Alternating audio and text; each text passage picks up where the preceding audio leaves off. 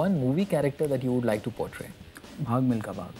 Farhan, hmm. what he's Yeah. done, and I just Yeah. love whatever Farhan does. You know, he's he's so good at his Yeah. work.